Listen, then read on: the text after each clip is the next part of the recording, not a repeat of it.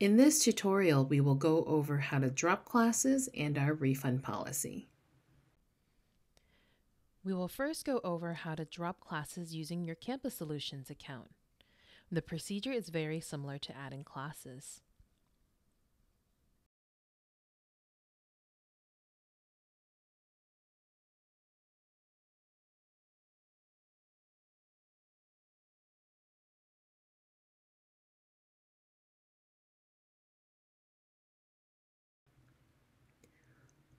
To drop your class, we will need to use your Campus Solutions account. The procedure is very similar to adding classes. Go to peralta.edu. Under Students, click the email slash canvas slash campus solutions to access your student portal. Log in with your Peralta email address and password. Once you are on your student portal dashboard, click the Campus Solutions tile. Click the Manage Classes tile.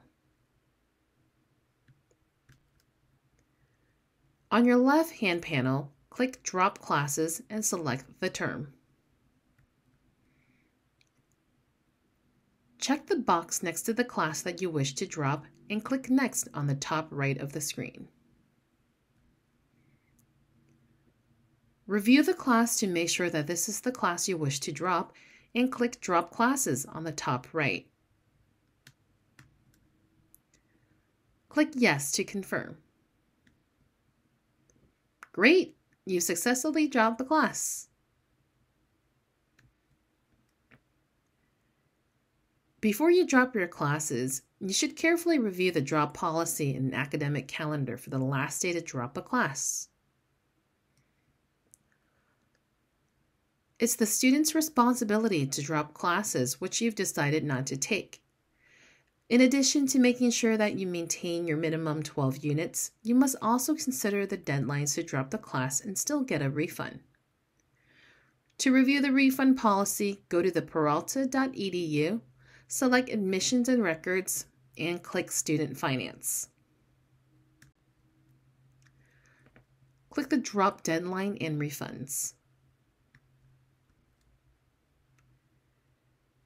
Refund drop deadlines depend on the class start date and end dates.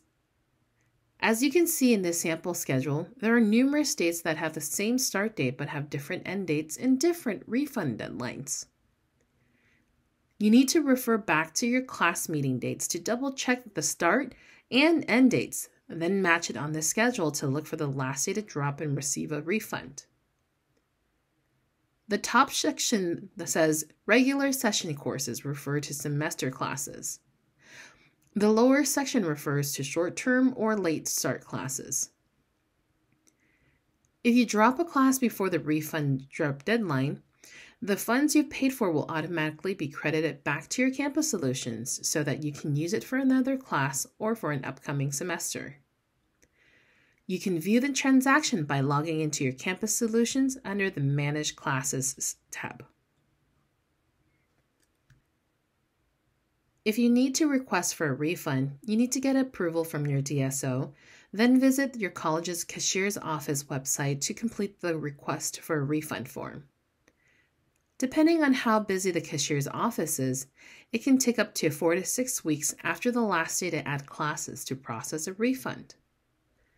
The funds will be sent back to your original form of payment, except for cash payments, which will be refunded as a check and mailed to you.